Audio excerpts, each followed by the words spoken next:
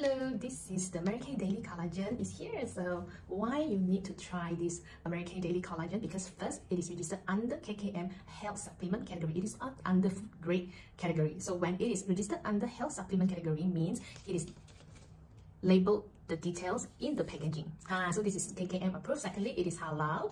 And then uh, thirdly, it is type 1 collagen. Type 1 collagen means is hydrolyzed collagen peptide, which is easily absorbed into our skin. All right, so that is the another a very strong point. And then the second is a safe time. And then a very important thing is uh, we don't have any hormone in this because it's derived from the fish. And our fish actually uh, caught it from the sea. And then we actually gone through three times of testing. So make sure our fish that we took is not uh, contam uh, contaminated by the mercury. So it's safe to consume. All right so what are some of the things that we need to take note? So for this collagen it, it is gluten-free, sugar-free, no sweeteners, and then no artificial colors. It is neutral taste, and it's highly dissolvable in the water, even in the cold water, and it's halal. okay, so this is my second jar. So let me show you how it dissolves in the water.